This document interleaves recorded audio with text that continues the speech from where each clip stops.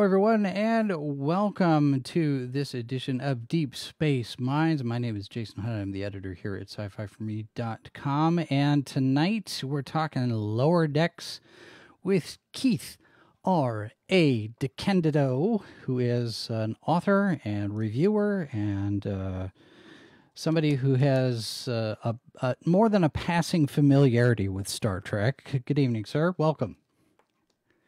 Oh, let me turn that back on there. Okay, now your sound is on. So, hi, oh, Keith. Okay.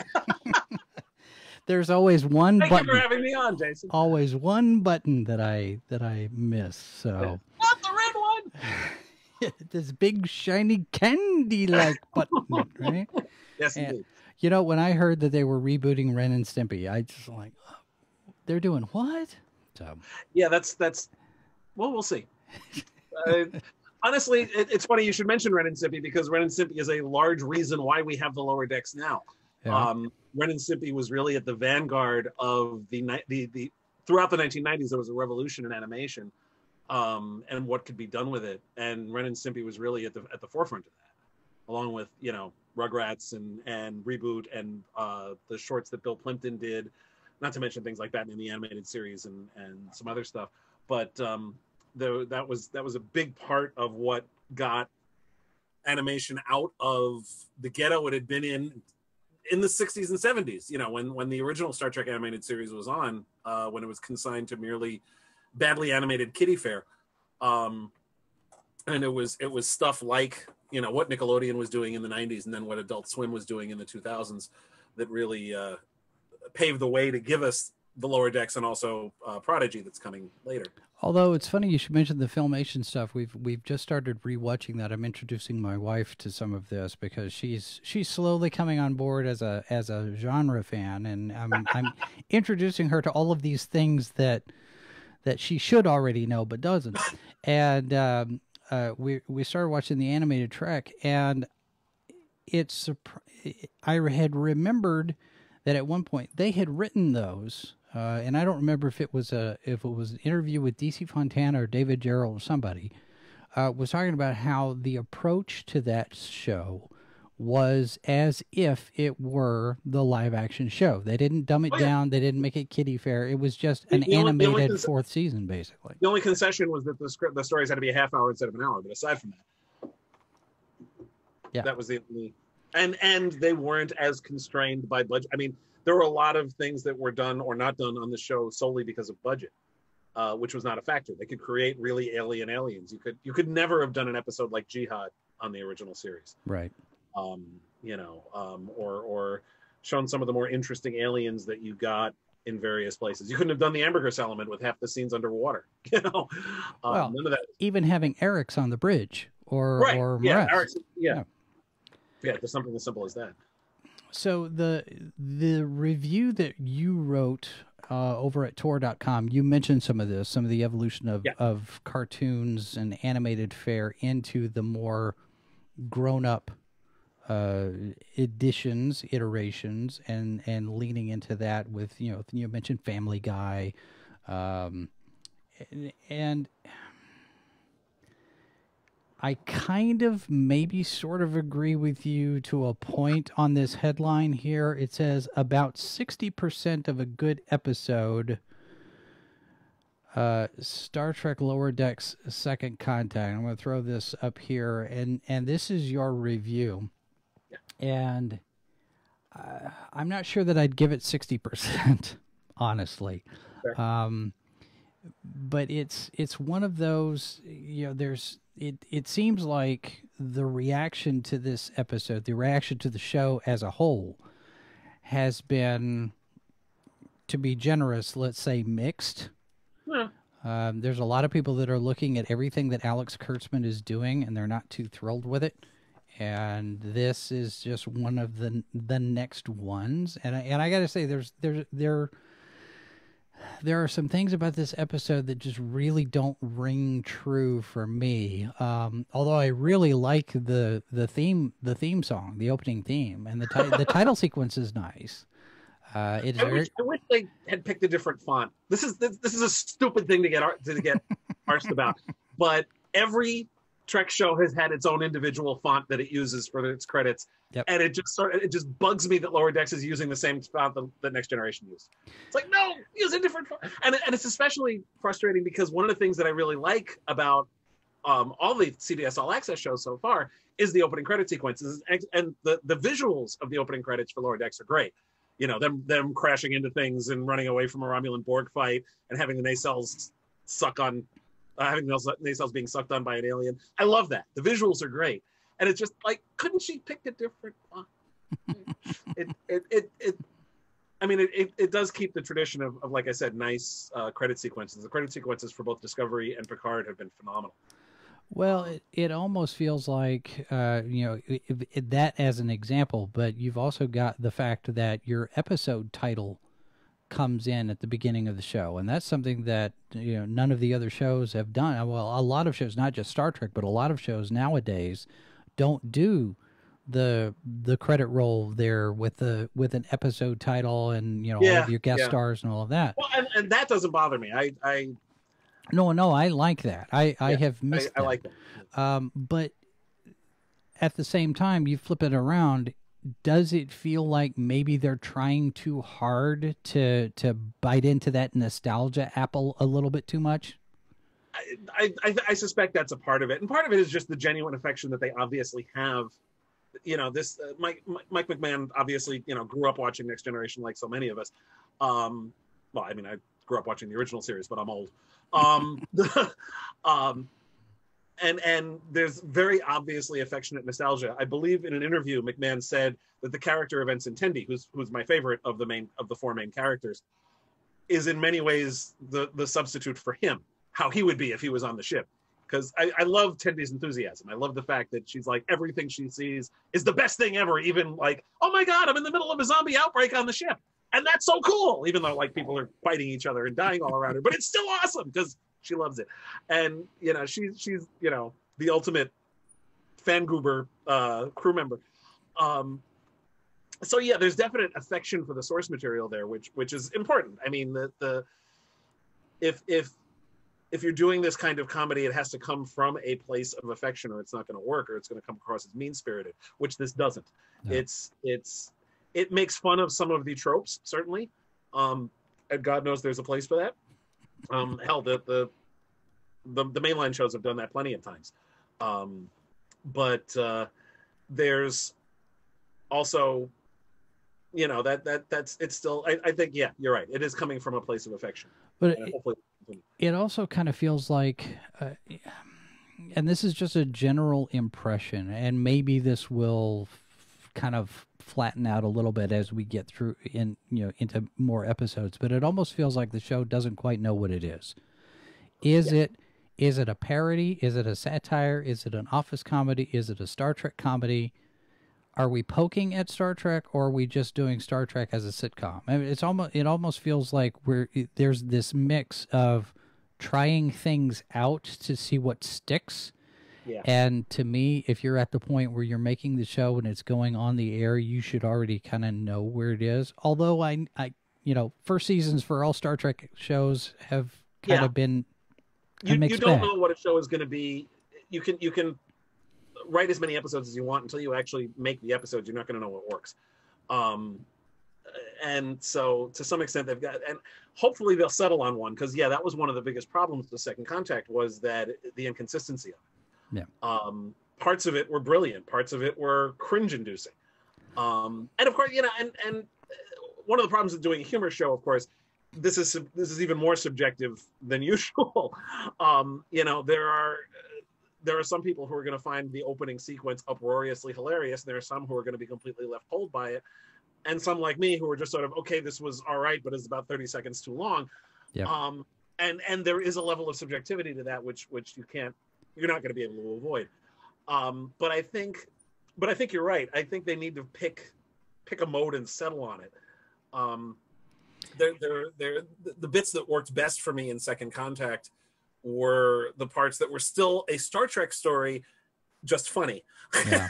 like, like I loved Rutherford and Barnes still continuing their date, even as they're like ducking phaser fire and going EVA, and they're still like you know, finding right. out what each other likes and their musical tastes and, and, and what food they like to eat and all that. I loved that. The and I love the quibble the on that on though. Planet. The quibble on that though in the in you're in the whatever their version of 10 forward is and yeah. everybody's got a phaser. Eh, where are are you are you walking around the ship armed? Are you coming to lunch with? Uh, okay, you know, that, are you strapped? That happens on Star Trek all the time. Everybody has a phaser when they need one. In Star Trek Six, there was a phaser in the galley for crying out loud. Um, that, that that Valeris whipped out. You know, I mean, yeah, but see the thing about it is though always, they were, but they were in a cabinet. Yeah, but they were in a cabinet, and and you actually got the shot of them opening it up yeah, and putting it in. What do you need phasers in a galley for? just in case. defend the... yourself against the turkey in case it gets up. That's right. You know I mean? Alien turkeys. Right. Um, yeah, no, there's always a phaser around when you need one in Star Trek. I, I, I, I don't, I don't want to really ding them for that when it's when it's a fairly common trope in other Star Treks also. Um, and, uh, but the the and the stuff on the planet, especially when we found out Mariner's backstory, yeah. that she isn't a, an ensign fresh out of the academy. She's in fact somebody who's had a Starfleet career and been demoted and seen a lot of crap, um, which brought the character into a nice perspective. I still stand by what I said in my review was that I think personality wise, this should have turned her into Chris Knight, Val Kilmer's character from Real Genius, rather than Bluto Blutarsky from Animal House, which is who she actually is. Um, I think it would have been more interesting to make her um, somebody who was a bit more cynical. Yeah. And um, instead of instead of a party animal, I yeah, just, I think that would have worked better. She's a little um, loud for me. Yeah. Very yeah, all her dialogue is being shouted, which which you know you can get away with when you're DeForest Kelley or Brian Blessed. It's a little harder to pull off in, in, in animation, I think. Yeah, well, and and her personality you're right. The the animal the Animal House uh, comparison is very apt, and it's almost like okay, I can I can understand why you got busted in rank because if this is the way you are, the whole through pretty much the entire episode, she's not really taking things seriously un, unless it affects her. You know, it's it's you know if she's directly impacted then what I'm curious about is what she hinted at when she was when she revealed her past to Boimler, which is that that she used to take things seriously, but so much stuff, a lot of stuff happened to her, and it's all the kind of stuff that happens in Star Trek episodes. Yeah. Um, and what effect that actually had on her, and there, there's a real opportunity there amidst the comedy to do some really interesting character work there. What happens to somebody? I mean, the, the kind of crap that that your average Star Trek character goes through is horrible and especially if they survive would, it. yeah, yeah. Um, and this is the sort of thing that can scar you for life. Yeah. And and the idea of somebody who pulls, you know, in essence, a Hawkeye Pierce or a Trapper John and just says, okay, we're in the midst of this horrible, horrible situation, so let's just completely be gonzo nuts. I'm thinking particularly the the Hawkeye and Trapper John of the original MASH movie and of the Richard Hooker novels, rather right. TV show. Although um, that's that's you know, I, I like that idea better of lower decks as MASH, as a Star Trek yeah. MASH, as opposed to Rick and Morty or you know some of these other comparisons that you've had. It, it feels like it's trying that it's it's it's like Rick and Morty and cosplay almost in some yeah. in some sense. But well, I I like Star kind Trek. inevitable MASH. given who's running it, but yeah. yeah. Um, and and they may they may you know. The, the, these things tend to develop. You you also whenever you're creating a serialized any kind of serial drama, even if it's not serialized, I don't mean serialized in the, in the sense of, of the way like say Discovery is serialized or the Babylon 5 was serialized, but just just in general a weekly drama where you're doing new episodes all the time. And this this applies to monthly comic books also is you don't know what works until you start doing it. You don't know what don't works doesn't work until you do it and it flops. And there's all and especially in the first season of a TV show, you're gonna have some of that. Yeah. And I think I think that that over the we'll see how it goes over the course of the next 10 weeks, 9 weeks. Um what works and what doesn't and and how what effect what affects, you know, the different I mean, all the episodes were all done and produced before the first one aired. So it's not going to the audience reaction isn't going to matter to what we see in the first season any more than it did with with Discovery or Picard. Which um, is probably a good thing because right now yeah. sitting on Rotten Tomatoes, the audience score is thirty seven percent, and and the critics are at sixty two percent. This is this is okay. not being very well received.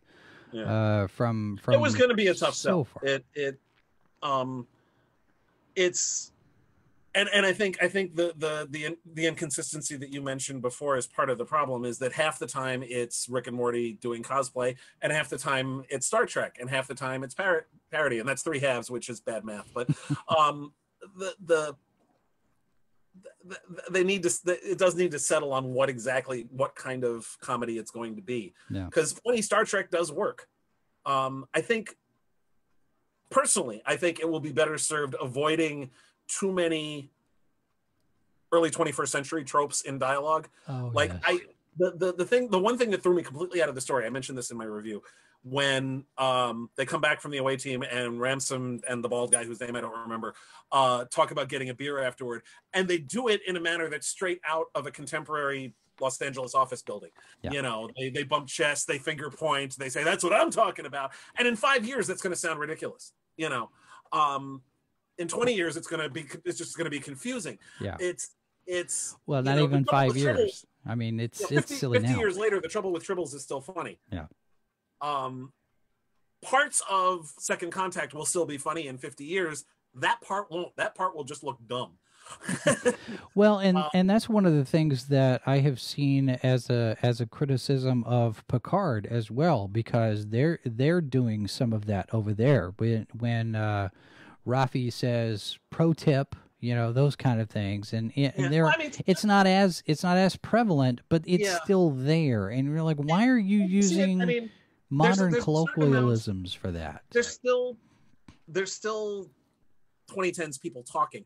I mean, if you watch the original series, there's a lot of, of verbal tics that are particular to the 60s that nobody would talk like now. Um, little things like that don't bother me so much because um, that that's an inevitable byproduct of the fact of when it's being made. Yeah. Um, you know, you you unless you're going to really dedicate yourself to coming up with future slang, which is incredibly difficult. it's it's not really. I don't think that that going that far is worth the effort. Um, to some extent, you know, you're going to have some contemporary slang in there. There's no way to avoid that. Um, but you can take it too far, and I just think that scene with Ransom did take it too far. Um, and and and a lot of of Mariner's behavior also is is a little too too contemporary. Yeah. Uh, we'll see. I it it it's one episode. It's there's parts of it. There's enough of it that is promising that it's going to be worth. And it's only worst case all you're committing to to watching the first season is 10 half hour episodes. This is not a huge commitment. And and i really think it's worth sticking it out to see if they figure out a good tone for it. Yeah. and if after 10 episodes it's still a mess then well it's still a mess. And, and... well and i think uh, one of the other things that i saw uh, a couple of people mention this being a second contact if if you're going off of uh, precedent from other shows. A first contact happens with civilizations that have achieved warp drive. And there's nothing in this episode that would indicate that the people of this planet have advanced technology. I mean, she's bringing them farm equipment and you'd think if if you've made a first contact, the assumption is they've got warp drive. They should have Maybe. technology I, for farming. There's plenty of there's plenty of instances of Federation contact with non warp capable species for various reasons. Um, and, yeah, but those and, were and most of those were accidents. Though. Just because the planet has warp capability doesn't mean all the people do. Well, that's true. Um, you know, um, I, I don't have access to all the technology that exists on this planet. Um, that might not, you know, that might not be a bad thing, Keith. Well, but but it's it's it's it's you know, the contact is based on what the world can do. That doesn't mean all the people, and you know, just because they have warp drive doesn't mean all the farmers have the right equipment. Right. Yeah. Um, and there could be any number of reasons. Yeah. Well, you know, they could have just recently over. It could be a situation like on Bajor, for example where they may have just recently overthrown a totalitarian regime that strip mined the planet and their their arable land is a mess. And one of the re- one of the things the Federation is doing is providing a better way of, of farming. There's all sorts of reasons that that and none of which was particularly relevant to that story. It was just, you know, right. And the idea was just to show, and and I love and I love the idea of second contact. I thought that was a great notion because, you know, we always see, okay, look, we met this strange new world. Okay, now we're going on to the next one. It's like, then what happens? I, I even addressed this in one of my novels. Uh, I did a novel called Articles of the Federation, which was a year in the life of the Federation president. I know I'm tooting my own horn here. Sorry. No, that's but, fine. Um, but one of the thing, one of the objects uh, that I wanted to do was to show, okay, you know, the Enterprise makes first contact or or whatever then what happens? What happens after that? What's the next step? One of the things we had was a diplomatic dinner with an alien species with whom the Federation had recently made first contact. And you know what what the diplomats do after Starfleet has gone on to their next assignment. Um, and the idea of second contact of the people who come in and do all the crap work you know, of, of setting up the subspace relay and, and talking to the natives and doing all you know all, all the paperwork basically right. teaching teaching the that. teaching the citizens not to be dependent on the computer that's been their overlord for the last few years. yeah that'd years. be good yeah yeah um yeah it's it just it just I don't know I I saw it I watched it I thought okay I've seen it I've watched it it's a thing um, my very first gut reaction was it's dumber than a box of rocks, but I had to sit there and think about it because you know I I need to try to be fair and charitable. I guess I mean it's one of those things. It's not my it's not my favorite thing, but um, yeah, I think my biggest thing if if the animation was different the animation the animation is to you know everybody's got noodle arms and it's that cal arts rick and morty steven universe stuff. And i think it would have been much better to go with kind of a studio ghibli look maybe. All, uh, you know you know get a little bit more yes it's animated but do it more in a in a traditional animated style like you know, uh, um, Avatar: The Last Air Airbender, for example, yeah. or something like that, where it's less. Mm, what's the word that less I'm trying to look? Yeah, less cartoony. Yeah, Adventure Time. You know, everything. Yeah. You know, the physics of it are just kind of out there. So. Hmm. I don't know. Uh, Robert in the chat says the whole farm equipment subplot was stupid. Where does the rebel get farm equipment to give away? Um, well, that's a good point. Mariner is basically stealing equipment, uh, stealing supplies, and and giving it to these farmers who, you know, is she, I mean, she's breaking regs, and then Boimler uh, doesn't rat on her, so he's an accomplice at the end. I mean, it, it doesn't. It, it I saw a comparison with uh, First Duty uh, hmm. where you know Wesley is involved in that cover up at the accident of the academy, and Locarno is like, well, you know, you should be loyal to the friends, and Picard's like, you know, the first duty for Starfleet is to the truth, and it it yeah, but then of... but there's a there's a big difference between uh, a homicide and bringing people farming equipment. Um, well, it's true. Uh, the the I mean, yeah, Locarno was was telling Wesley to cover up what was basically not quite a murder, but at the very least a a, a, a death that could have been prevented. Yeah. Um. So I I I I, I hesitate to compare the two for that reason. Um. and, and there's this is this is I suspect a uh going to continue to be an issue because Mariner obviously uh isn't all that interested in following regulations, and it's and I suspect she's only been given as many chances as she has because of who her parents are. Yeah. So it'll well, it'll be interesting to see how it, it plays out. Um, it's and it is a comedy, and in comedy, people get away with stuff that they don't get away with in drama. Um, you know, there there's all sorts of. I can think of all sorts of instances, even in something like MASH, for example, where where uh, things happen that would never have been able to continue. You know, like Klinger getting taken off, taken away to go to uh, with a as a prisoner who was going to be executed. Yeah. Um, you know, he would have wound up in the stockade after that, but there he is in the next episode. You know. Um, well, and like you said, though, sitcoms, sitcoms tend toward a lack of consequences. Yeah. Well, and you like know, you said and before, it's, this, at least to some extent in this. Yeah, some of some of the comedy could lend itself to an arc if they're going with something. You, you know, if they're going in a direction with with Mariner's character um, especially given the fact that her mom is the captain and and nobody knows and nobody knows it. Yeah. Yeah. So that's just it. That's that's that's I'm I'm wondering how that's going to play out.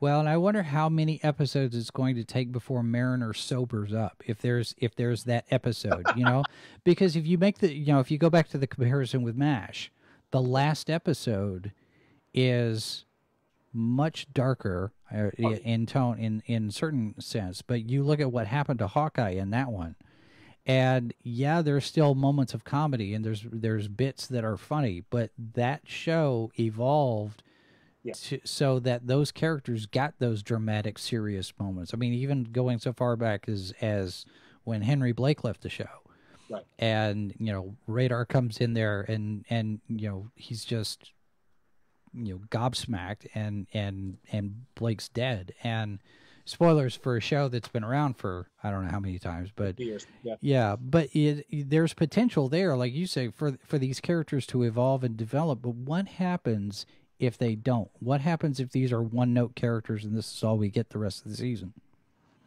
Uh, it it depends on how well they execute it. The Simpsons has been trapped in amber for what thirty years now, um, and and people still watch the show. Um, it as long as it continue if it continues to be funny for enough people, um, it can work.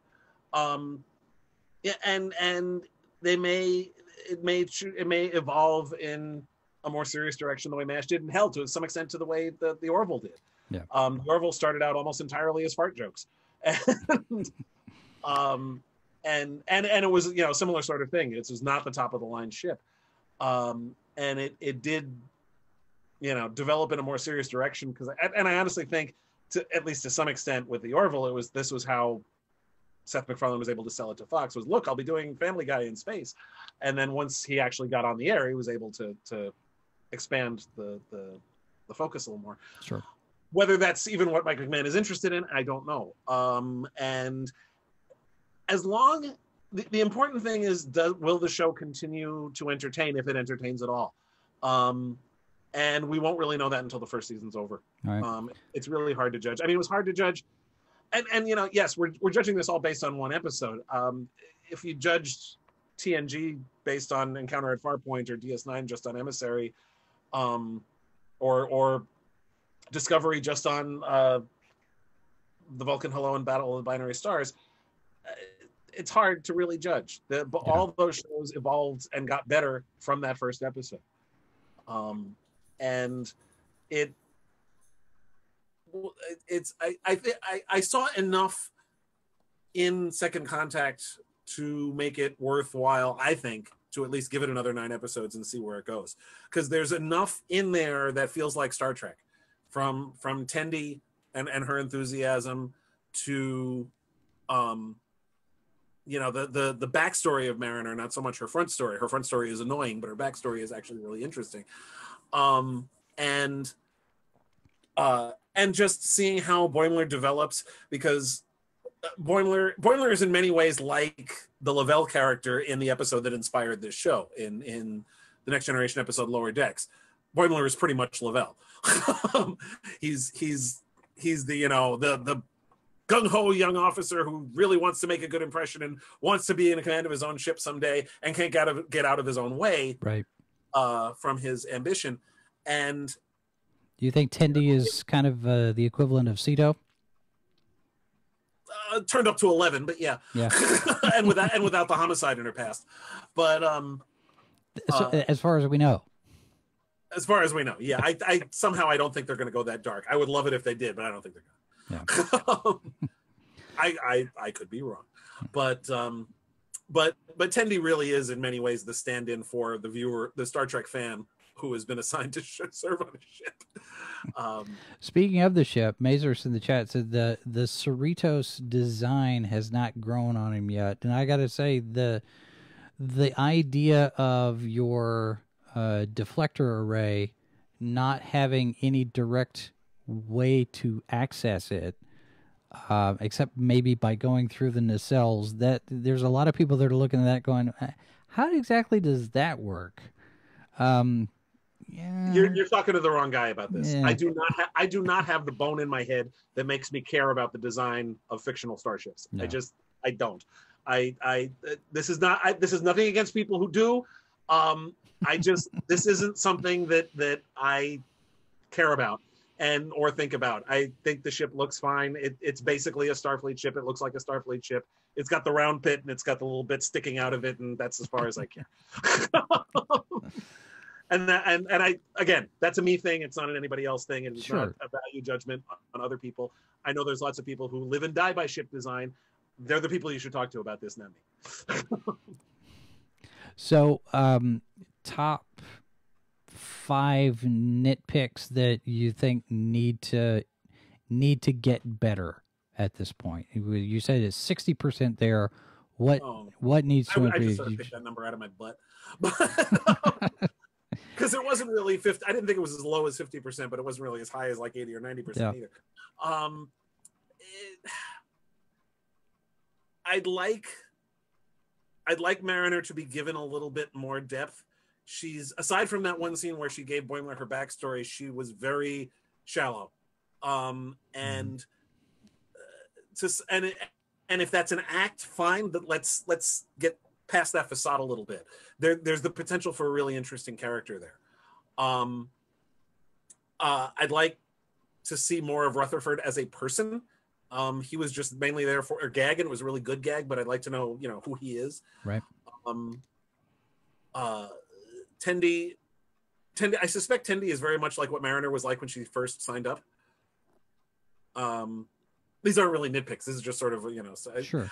I'd I I'd like to see more of just the natural humor that comes about from being not the lead character, not who would normally be the lead character, being the person who cleans up who fixes the food replicators, being the person who cleans up the holodeck after an orgy, or um, being the person who you know brings the reports back and forth, the person who fixes you know gets all the gunk out of the warp nacelles. There's comedy to be mined just from that, and hmm. also I particularly love the whole thing at the end where it's actually Boimler who inadvertently saves the day just by virtue of the fact that he was suckled by an alien spider. But he didn't get any of the credit for it. Right. Uh, and I like that notion because it, one of the it's, it's a nice inversion of the Trek trope, born of the fact that they're all TV shows, and so because it's a TV show, the same seven people do all the work. Um, and I, I, there's a lot of comedy to be mined by. Hey, I'm third red shirt from the left. I do stuff too. Nobody really notices it because I'm, I'm not on the bridge yeah. or in ops or whatever. Uh, that's the sort of thing I think that that is has the potential for really strong comedy here. Um, sort sort of the, the, the kind of thing Red Dwarf does a lot, also. You know, because Red Dwarf is about the guy who you know cleaned the chicken soup machines. Yeah, who's the survivor of the ship. Um, I think I think if it focuses more on that, it will work better. Um, having said that, I'm not I'm not a comedy writer, so what the hell do I know? Yeah. well, and I think I think the the other part of that too is is just like you were talking about with the characters. I think if you get more into the the comedy that comes from the interaction, yeah, rather than whatever contrived circumstances we find ourselves on. Oh well, this is you know this. Okay, we've done the zombie episode now. Um, we we've gotten past. We've only done it like once before in like fifty years, so that's yeah. But you know, we'll have the musical episode. We'll have the you know turn them into kids episode. You know, you you, you know what's coming. The one thing, uh, one thing I want to mention, I didn't even mention this in my review, but it was what, my favorite comedy moment, straight up comedy moment, was because it was it was perfectly done, uh-huh. and it's the sort of thing that Mariner should be doing more. When Mariner says we should go to the holodeck, and Boimler says, "No, we don't have time." Um, and Mariner says, "Okay, what time is it?" You can't consult anything because either you know what time it is, in which case she doesn't have time, or you just said that to make yourself feel important. Yeah, that was a good. That was a good bit. time it is, so they go to the holodeck. That was hilarious because that's exactly the sort of thing that people say when they're trying to sound important. And Mariner called him on it, and and it was and that was funny. And that goes back to that character interaction like, like yeah. you're talking yeah, about with that's where that's where the potential for this show is. Yes. You know and if they lean into that more heavily than the you know the shouting and the drunkenness the and shouting the, and the and the being suckled by an alien spider and you know that oh, kind of thing. you know well, I, yeah, but I didn't mind being suckled by an alien spider because that's what saved the ship. yeah, but uh, was. And, I think it was. I think that was another one of those moments that was maybe a maybe a thirty seconds too long type of bit. Yes. Where yes, you know you have you have it. Yes, we've established it as funny. Now it's not. Um, and I think there were and there were there's, several of those moments. Yeah. yeah. Yeah, I agree. And you've you know the the it's it's the hardest part of writing comedy is is the timing and making sure that you you get it right. And if if if it's too fast, nobody gets the joke, and if it's too slow, everybody gets the joke and has already moved on, and you're still telling it. Yeah. So you, you got finding that balance is is tough.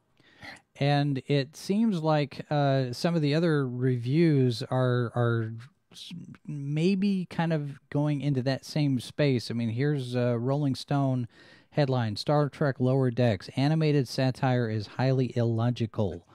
Snarky humor and sincere admiration make an awkward match in new workplace comedy about low-ranking Starfleet officers. Two and a half out of five stars. Yeah, and it's it's uh, here's uh, this one here. Um, the Verge says Lower Decks hasn't found its comedic edge yet. Vulture's headline is rather interesting because it looks a little bit more broadly at Trek. It says Lower Decks is fun, but Star Trek is suffering an identity crisis. And yeah. I'm I what that means. Well, that's that's the question. I mean, it, you look at Discovery and Picard and you know the shows that are being produced now and you know the whole darker edgier more of our time type of thing and there've been a lot of complaints about the lack of optimism, the lack of hope. Uh, you know, there, there's been a number of different critiques about those shows being more cynical, more nihilistic. I mean, I've I've seen all of these all of these descriptions thrown out there, and and and this is the same complaints that were being made about Enterprise 20 years ago. These are the same complaints that were being made about Deep Space Nine 20, 30 years ago, um, uh, or 25 years ago. Um, this, these are the same complaints that are made every time there's a new Star Trek. The hell, these same complaints are being made about Star Trek: The Motion Picture 40 years ago. Um, I, I, yes, it's different. Um, that doesn't make it bad, and the optimism is still there, just like it was still there on Deep Space Nine. It's just being challenged. You know, ultimately, Discovery, in the end, promoted the optimistic ideals that are at the core of Star Trek they wandered away from it a little bit, but that happens. Um, there's a lot more dramatic potential inherent in challenging the utopia of the future. Um, and you know, one of the one of the important things that Discovery did, in particular through the character of Saru and to a lesser extent through Burnham, was trying to bring Starfleet back to its ideals. Certainly, Picard was the whole reason why Picard left was because and um, was was because he felt that Starfleet was betraying its ideals, and his fight throughout those ten episodes is to get back to it. No. Um, it's I I don't think the optimism is gone at all. Um, and and I just think it's being approached in a different way, which is one of the ways a franchise stays vital for 50 years is to is to reinvent itself. A lot of the complaints that were made about Discovery are the exact same complaints that were being made in 1979 about the motion picture. Um, nobody remembers that now because it was 40 years ago, and it's at this point the motion picture is an established, if incredibly boring, part of the canon. Um, and and for that matter, that you know it must take place in an alternate timeline, which is the exact same thing they were saying about Enterprise 20 years ago. Nobody's saying that about Enterprise anymore. Everybody has accepted Enterprise as part of the ongoing history. Right. Um, but in 2001 it was it was the same nonsense on the same internet bulletin well not the same ones it's completely different internet bulletin boards um but, do they do they still have those? Oh yeah, they still do. um, you know, but uh, you know, whether it's on Usenet or on AOL or on the Trek BBS or on Facebook or where the hell ever. Yeah. Um, the, the, there's there's always complaints about the new Trek that comes out from people who say it's not like the old Trek. I don't like it. Um, and what the thing is, what what Deep Space Nine in particular did, 1993 when Deep Space Nine debuted, that changed what Star Trek was. Up until then, Star Trek was these are the voyages of the Starship Enterprise. It could be Kirk's Enterprise or Picard's Enterprise, but it was still the Enterprise. with Deep Space Nine, that changed. Now, Star Trek is anything that takes place in the Star Trek universe. It greatly opened things up. This was a great boon to Star Trek to continue forward. Now you can do Discovery, you can do Strange New Worlds, you can do Picard, you can do Rick and Morty in space as we're getting on lower decks. You can get Prodigy. You, there's there's so many different storytelling avenues that are available. The tie-in fiction has been doing this for ages since since the mid '90s. Yeah. Um, the we the tie-in fiction started with New Frontier with with Peter David's uh, original crew, which the powers that be at Paramount were like, this is probably not going to work, but we'll let you try it anyway. And it turned out to be the best-selling book of 1996, um, or 97, excuse me. And um, the uh, or whatever was it 96 i don't remember whatever year it came out it was the Yep. best Well, plus you had you had a couple of Sulu uh, Su- Sulu stories in there. Uh, Yeah, a that, you couple. know, they Well, got they they, got to that well. experiment with that. but um but then you had the the vanguard series you had the titan series you had the gorkon series that i did the starfleet corps of engineers ebook series that ran in the early 2000s Secrets. um the stargazer series uh the titan series uh with with riker's command uh, all of these and many of these were incredibly successful. And because because ds9 did that because they were willing to expand the focus of star trek beyond these are the voyages of the starship enterprise. So you can do all sorts of stuff. And some of the sometimes when you when you experiment when you have that big a, a canvas to play with you're not always going to succeed. Um, and some things are going to succeed better than others. Um, it all depends on the execution of it. Hell if you told me a year and a half ago um, or well if you told me before discovery second season started that they were going to do a pike on the enterprise series i would think why would you do that what Yeah. would be the point? and then the second season of Discovery happened, and Anson Mount and Ethan Peck and Rebecca Romijn were amazing. And there was a clamor for a Pike series just so we could see more of those three. And we're going to get that if the pandemic ever ends.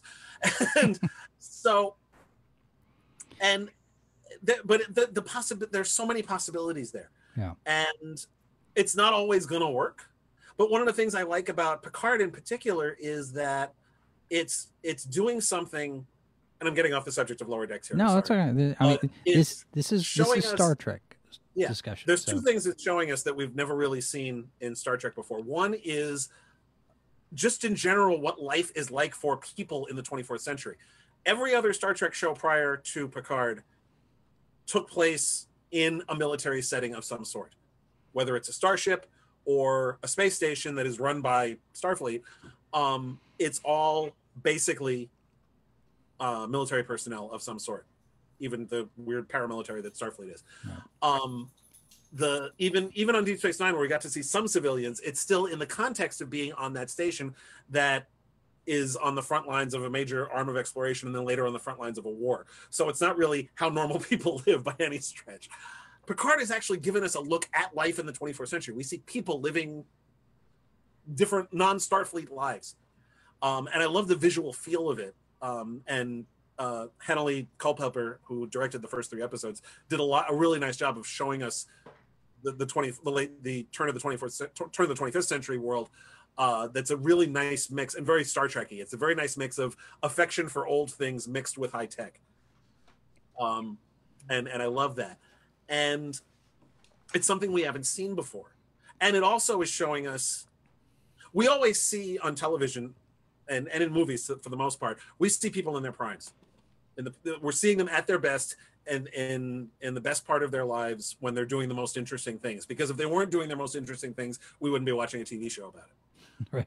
Card is actually dealing with somebody in the twilight of it after the highlight of his career. This is not a Picard who is at the center of attention, at the head of the flagship, uh, who is always right. This is a Picard who is very old, who has screwed up, who has who has outlived a lot of his usefulness in some ways, and is trying to find it again. Um, and it's it's a very different look, and it's not something you see very often. And speaking as somebody who turned 50 a year ago, this this is of interest to me of, of what happens to heroes as they get older, as they reach the twilight of their lives. It's made for some really good fiction in a lot of cases, uh, particularly in movies, including one other Patrick Stewart vehicle, uh, Logan. Yeah. Um, as well as like Unforgiven and and other things like and um, Crouching Tiger, Hidden Dragon also. Um, the idea of of what heroes are like in the twilight of their lives, and Picard is giving us that. Lower Decks is in the other direction. It's to, to actually wrench this back to the to the topic at hand, um, Lower Decks is about people at the beginning of their careers. These are people who aren't at the forefront. They aren't the main characters yet. Um, they aspire to be, and that that has its own storytelling possibilities too. And hopefully they'll they'll play with it more. Is is you know getting those initial experiences and and finding out what it's like and working their way up the ranks. What's right. it like for them before they reach it before they make it to the bridge?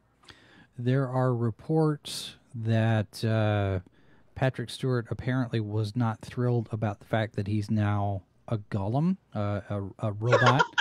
uh, you know, and, and you, I have to I have to wonder about that because he's you know he he's done interviews. He's enthusiastic about season two. He's jumping at the He's ready to get back to work.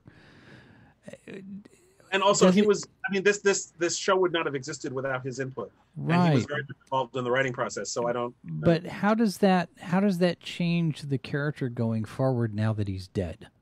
I mean, what where where do you go with that? I think the main thing it did was get get him basically free him of the uh, brain disease that we knew going all the way back to all good things that he was going to get uh, as he got older. Um, I, I, that's entirely up to Stewart and the writing staff. Um, I know it's a different writers' room because Michael Chabon's off doing um, Kavalier and Clay now, but um, that's that's up to you know the people, the Stewart and Kirsten Beyer and and the rest of the people who are who are doing the writing there um, there's there's ways they, they could very easily just ignore it. Um, he's in a body that is exactly like the one he died in, so mostly because it's the same actor. But um, it it it it's something they can play with. It's another aspect of of him being in the twilight of his life. How does this affect him now? Because his health problems are no longer a problem. Right. So what does that mean for him? I mean, there's there's there's lots of possibilities there and and it can just as easily be ignored in much the same way they like basically ignored Geordi's visor for the last like five years of Next Generation, you know, um, and, and ignored Picard's artificial heart except as something to nearly get him killed in Tapestry. Right. It's it's something that can just as easily be played with or ignored as they see fit. Uh, critical blast in the in the the chat. Why did Picard forget how to fly a ship? He was a hotshot pilot, and why did they think it's impossible for an android to pass as human when they encountered them before? Um, yeah, and that and that raises some some questions I, because he was never a hotshot pilot. Well, he but, was a I mean, he was a con officer once. He was never really a hotshot pilot. Yeah. Um, plus, also, just because you could fly a ship when you were twenty doesn't mean you can fly a ship with a completely different helm configuration when you're 90. Sure. but it does raise an interesting point that because I saw a number of people saying, well, this this first season lifted a lot of ideas from other from other things, video games and other shows and other ideas coming from different places and it was almost like the whole thing kind of got cribbed together from other material. Um, is that a valid criticism do you think because there was some of this stuff that we've seen before and and some some other shows had kind of done it better depending on what it is you're looking at is I the originality of the idea is of less interest to me than than the execution. Yeah. I mean, Shakespeare didn't have an original idea in his life. Um, the yeah, sure. I mean, Star Trek's always borrowed from other sources, though. I mean, Star Trek was basically Lensman in space from the beginning. Um, and and and a lot of the things it's borrowing from is other Star Trek things and other Gene Roddenberry things. There's a lot of the Questor tapes in here too. Yeah. Um, hell, Data pretty much was Questor, um, and and a lot of it is building on what was already established in um, what was already done on Star Trek with Data, with Lal, with the EMH, um, and and you know holographic rights and, and that whole storyline on Voyager. Um, so some of it was building on what was already established in Star Trek, and that's you know that's perfectly fair. Yeah. Um, and and sure, there are other people who have done the the notion of, of how to deal with artificial intelligence, but that was true before too. You know, it's not like Data was the first ever android in, in right science. So when we get to Discovery season three coming out in October, right what, when Lower Decks is done, what are you hoping to see? Um, I'm just looking forward to find the thing that I liked most about Picard was the fact that for the first time since 2002, Star Trek was moving forward. and now we're getting it sort of with with lower. I mean, lower decks is taking place um, uh, right after Nemesis, so it's still um, it's it's it's like 20 years before Picard, but um, yeah, but it's not a prequel to. But it's not. Yes, it's not. Everything it's still, else. Yeah, it's still mostly uncharted territory in terms of of the timeline. And Discovery is going even further afield than that, which is as it should be. Um, for the last 20 years, Star Trek has been wheel spinning. Um, and they're going to be doing it more with Strange New Worlds. And like I said, that was an exceptional case just because those three actors were so good. Hmm. But it really, Star Trek is at its best when it moves forward. Um, there was way too much, too much filling in of backstory and not nearly enough front story.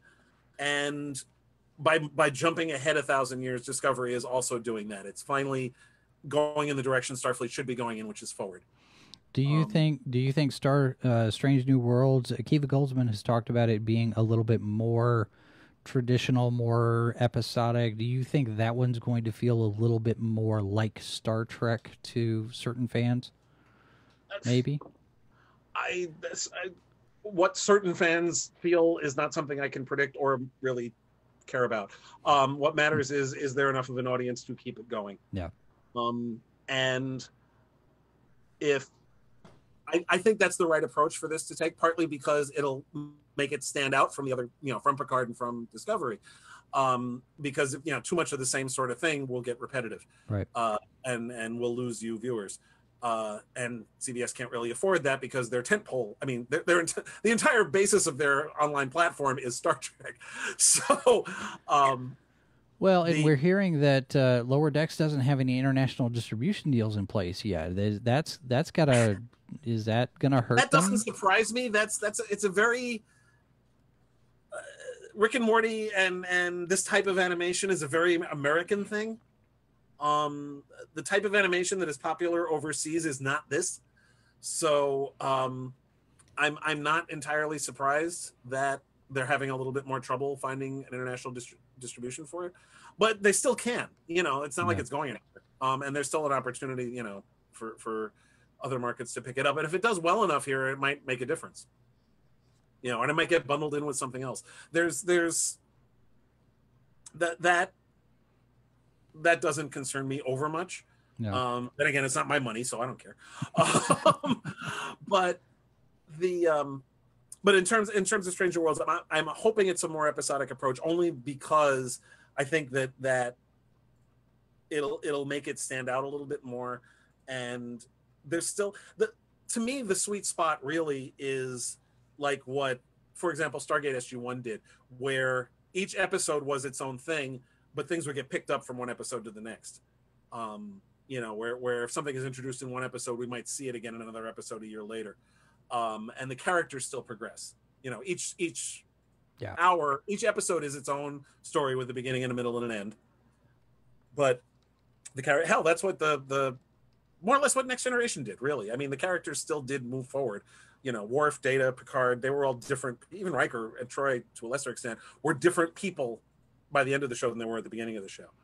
I think my my biggest quibble with with Next Generation has always been the fact that um, Roddenberry had mandated that they all get along. Yeah. You know, it was that there was no conflict. And one of the things that I really loved about Deep Space Nine is that n- they didn't always get along. And the conflict for Next Generation, the conflict always came from outside. And that didn't feel natural to me. I was like, well, you know, these these people should have some friction. There should be some stuff. You know, it's it's And it didn't even have to be like major friction, just disagreements. things, you know? yeah, just little things. Yeah. But there wasn't enough of that. Um, and I thought that, you know D- DS9 did it really well. Yes. Uh, especially you know, when when Kira shows up in the pilot and she's like, "I don't want you here." I thought, "Oh, this is this is refreshing." This I suppose different. you want the office. yeah yeah she was it, and you know you always have to wonder what that show would have been like if it had been Ro and not Kira you know it's like well was that what if it was some, in some dimension somewhere Deep Space Nine has Ro as the as the the officer there but uh, anyway, okay. So uh, what I want to do here, real quick, is give you a chance to uh, talk about this Kickstarter project that you're involved in. I'm going to throw the throw the thing up here. Lucky Devils and Witchy Ways, and it's, it looks like it's already. Uh, oh yeah, it's already been funded. It's already um, been funded. So the my part of this, the main uh, part of the Kickstarter as it began, and the main goal was two novels, one by Michelle Sonnier and one by Megan Mackie, um, uh, which in both cases are sequels uh, the, for books they've done for uh, eSpec books. The first stretch goal, which we hit when we hit two thousand dollars, was for an anthology that I'm in, which is why um, I'm pushing it so hard. Uh, not that I don't think you should support Megan and Michelle because they're awesome, but uh, there's an anthology called Horns and Halos, which is stories about angels and about demons. And uh, I've got a story uh, in there, and uh, mine is an urban fantasy uh, taking place here in New York City, where I live, about um, particularly about Islamic angels in particular. So um, we've already hit our goal. So if you if you support the Kickstarter at this point, you are guaranteed to get what you asked for because we've already made the goal.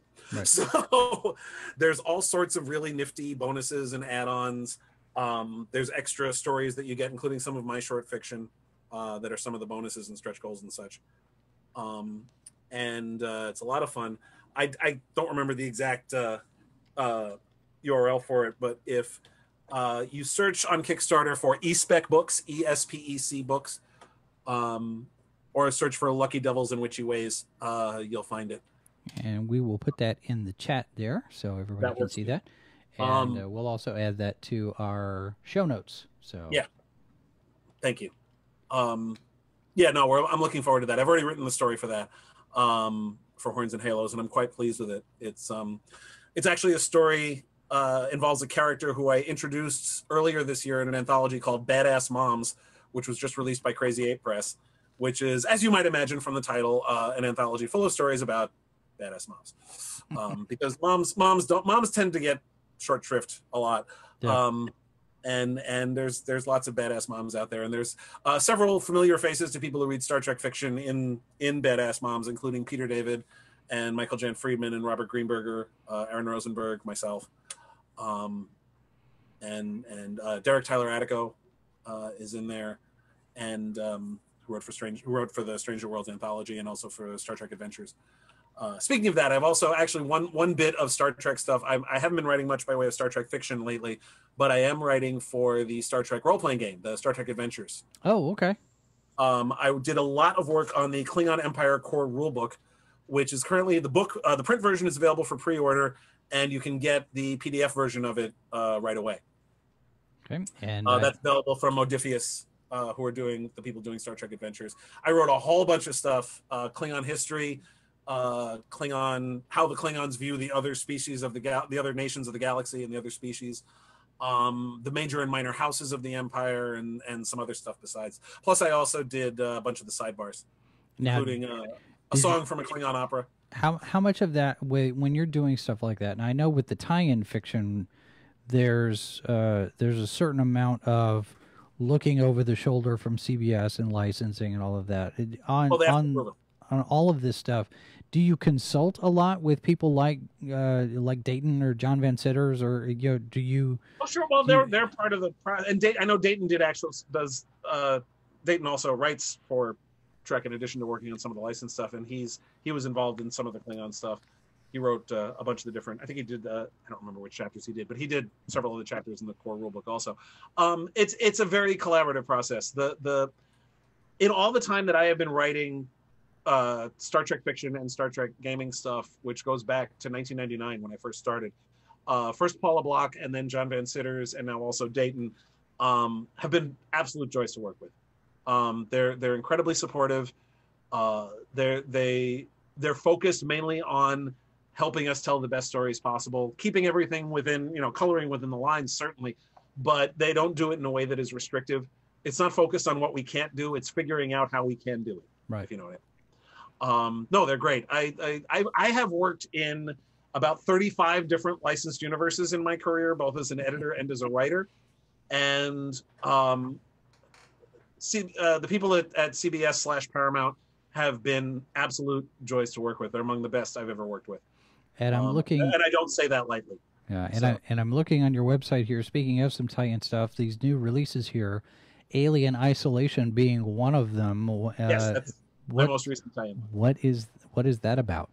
Uh, that is, uh, it's an adaptation. It's about it's about two thirds in novelization of the game of the same name, which came out in 2014 from Creative okay. Assembly. Um, and the other third of it is Ripley family backstory. Um, Alien Isolation came out last year. 2019 was the 40th anniversary of the release of the original Alien movie. Right. And uh, there's a bunch of material that 20th Century Fox did in celebration of that that focused on Ripley's daughter, Amanda. Uh, Amanda Ripley is the main character of the Alien Isolation game. Uh, she was established in Aliens in a scene that's only in the extended cut of Aliens, where we find out that Ripley's daughter, whom she had originally promised to be home by her 11th birthday, but by the time Ripley was woken up uh, in Aliens, her daughter had already died. Yeah. Um, uh, and, and was an old woman when she died. Um, and actually so, was played by Sigourney Weaver's real mother. Yes, yes. The, yeah, the picture they used was was her mother. But uh, Alien Isolation uh, focuses on Amanda Ripley as a 25 year old woman trying to find out what the hell happened to her mom. And in 2019, besides my novel, there was also a web series that adapted the game. Uh, there was another game that was a sequel to Alien Isolation. There was a uh, an app game uh, and also a comic book from Dark Horse that focused on both Amanda and the character of um, Zula Hendrix, who's a character they created for the comics. And um, all of that was done as part of the 40th anniversary celebration. And it was it was so much fun to be able to write not just Amanda, but also Ellen Ripley in in the various flashbacks I did. I, I established a lot about Ellen Ripley's life before she signed on with the Nostromo, uh, and then also what Amanda went through after the Nostromo was lost. And then the other two that are sitting here, these look uh, looks like both of these are originals. Are Furnace Sealed and Mermaid Precinct. How many of these precinct books have you done now? I have done six precinct books, uh, five novels, and one short story collection. I'm working on the next book, which is called Phoenix Precinct. The series launched with Dragon Precinct, uh, and it's, it's all of the precinct books are high fantasy police procedurals, kind of Law and Order meets Lord of the Rings. Um, one reviewer called it Dungeons and Dragnet, and um, Uh, it's it takes place in an epic fantasy setting, but the main characters are detectives who solve crimes. And Mermaid Precinct is the latest novel. Now, I I seem to recall at one point because I think when Dragon Precinct had already been out, mm-hmm. and was it Fox announced that they were doing a series with uh, Orci, Roberto Orci, and and and that you know about this very ki- this very kind of thing, 17th I'm precinct or person. something. I'm not the first person to do this either. I mean, the, the Lord Darcy books did this, the Hawk and Fisher books by Simon Green. Yeah. Um, it just felt the timing of it was I, really I, weird because your book had just come out and suddenly they're doing this. Oh, is this Keith's book? no, no I should be. But, um, yeah.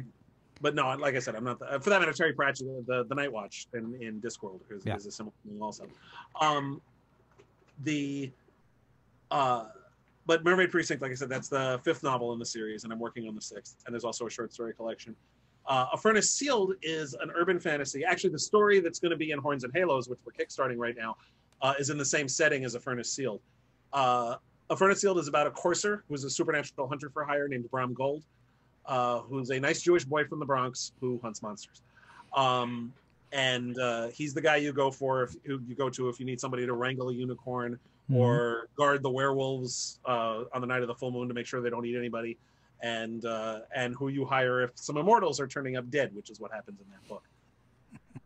Um, the the story in Horns and Halos is with another courser, a woman named Yolanda Rodriguez, who is the badass mom of the badass mom story. Um, and uh, I'm working on the sequel to A Furnace Sealed right now, which is tentatively titled Feet of Clay. Um, and uh, Yolanda is going to be in that book along with Bram. So all right. Well, that sounds like a bunch of fun. I uh, hope so. When when do they uh, when are they out? When do they get released? Uh, I'm not sure. Uh, those two, Mermaid Precinct and A Furnace Sealed, are out now. I'm working on the other two. I don't have exact pub dates for them yet.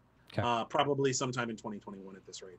All right. Uh, every, everything has kind of moved a little bit more slowly this year um, for reasons that should be fairly obvious. Sure. Um, and uh, meantime, I've got two other books coming out this year, which aren't up on the website yet because they're not uh, available for pre-order but um, two collaborative novels I did. One is a, a, military science fiction novel that I wrote with David Sherman called uh, To Hell and Regroup, which is actually the third book in a trilogy that David started. I edited the first two books uh, when they were first published, David, for various health reasons, was unable to finish the third book, and he asked me to finish it with him. Uh, so we did that together. Um, and it's about a, a, group of aliens who attack a human colony, uh, and the human military forces are fighting back as they do. Yeah. Um, and uh, the other one is uh, coming out at the end of the year from Wordfire Press, which I wrote with Munish K. Batra, uh, who's a doctor in California, with whom I wrote a story called Animal, which is about a serial killer who targets people who harm animals. Um, it's basically Dexter if PETA had created it. okay. Dad, do you do you have a preference uh, writing or editing, or you get uh, different types of satisfaction from either? I don't do as much editing as I used to. Um, I still I still have my hand in it, and I still enjoy it, and it's how I started out uh, in the in the early '90s when I first uh, when I graduated college. I, I worked as an editor first in magazines and then in book publishing, um, and I love doing it. Um, and in fact, my wife and I are working right now on putting together uh, a short story anthology, uh, which we're going to be putting on Kickstarter soon. Um, we have to get some financial ducks in a row, and then we're going to sure. kick that. But uh, no, I love editing, but writing writing has always been my first passion, going back to when I was six years old. Uh, and I wrote this little book on construction paper called "Reflections in My Mirror." Um, it was terrible. I was six. Um, but uh, but I've always wanted to write, and, and I love the fact that I can make a living at it, and I love and I love I get to write all sorts of different things. I particularly like that all the writing I've been doing for Tor.com, writing about Star Trek, writing about superhero movies, writing about all sorts of stuff for them, which has been great. Uh, it it's it's it's brought my writing to a new audience. It's it's allowed me to do a different kind of writing than what I do in the fiction, um, and it's fun. And they pay me. It's amazing. that's that's the best part, right? Yeah. Now, now, how much does your uh, martial arts experience and, and, training come into how you approach the work for writing? I mean, it's you got to have a lot of discipline to sit down and say, okay, I got to do a thousand words today. I got to do six thousand words today. I got to I got to turn out twelve chapters. Yeah. What's What's funny about that is the self discipline for writing has always been there. No. Um, the problem was applying it to any other part of my life. One of the reasons why I've succeeded in karate, which you see next to me here, these are two of my black belt certificates, by the yeah. way. Um, not to show off or anything, but um, but uh, the only reason why I was able to even make it to my first degree black belt, much like my third, is the the classes are scheduled because all my self discipline is tied up in making sure I get my writing done so if the classes weren't scheduled, I'd never show up.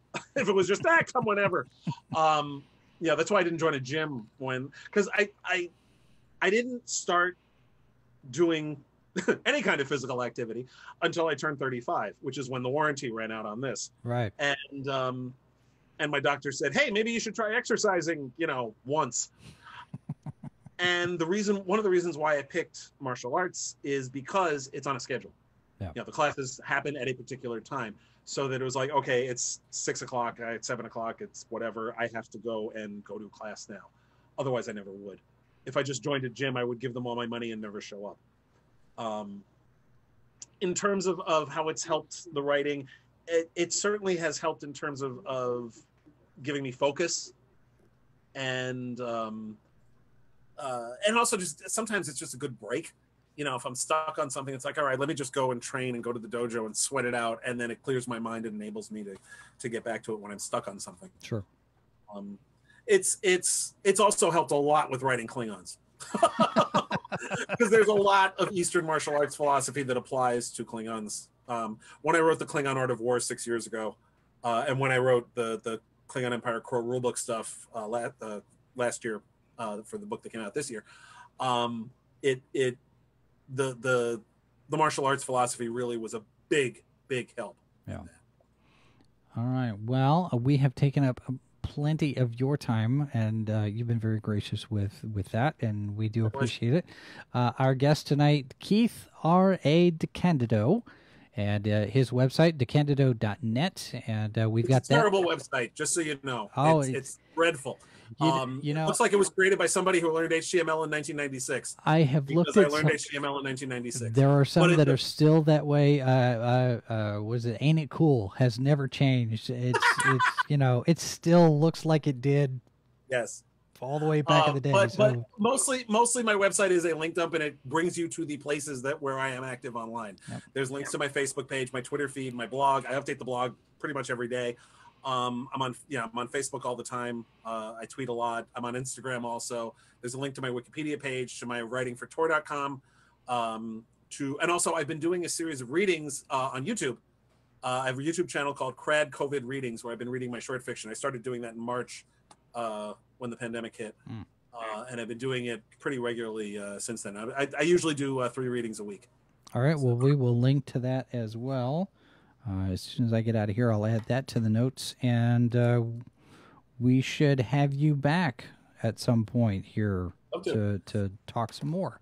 Maybe maybe as we get toward about the middle of the season for lower decks, kind of do a, a, a head check, gut check, see where we are as far as how the series. It's only ten episodes. We may as well wait till the end of it. All right, uh, we will plan for that then. All right. So, yeah, all right. Keith DeCandido, thank you very much, sir, for being here. Thanks, and uh, thank you all in the chat for contributing your thoughts and comments and questions. And we do also appreciate all of you who are uh, supporters of the channel. Uh, feel free to subscribe and hit the notification bell for those of you who have uh, uh, just found us. Uh, we do have a number of shows here on the channel, so feel free to take a look around. And we will be back with another Deep Space Minds conversation in two weeks' time here on Sci Fi for Me TV. Thanks very much for watching, folks. Good night.